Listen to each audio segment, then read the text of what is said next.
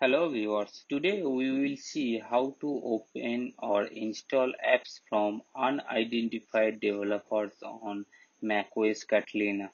To view Gatekeeper settings, open System Preferences, then Security and Privacy. You can see there are no options for unidentified developers. By default, Gatekeeper only allows you to open apps which is download from App Store or identified developer.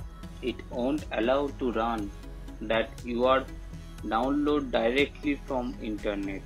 Let's see how to allow apps from directly downloaded from internet. First, open terminal from utilities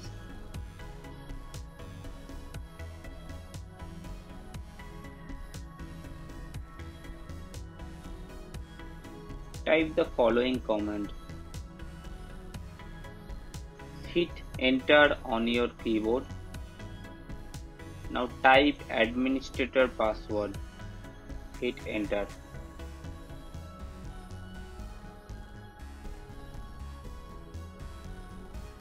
Now Gatekeeper allows you to run apps from anywhere.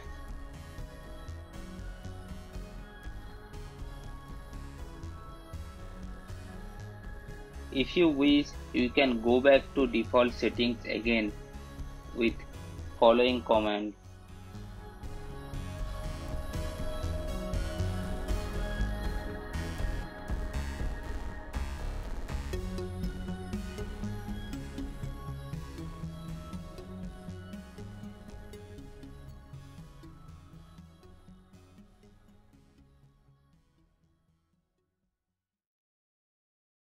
Hope this video is help you. Please like and subscribe my channel to get more videos. Thank you.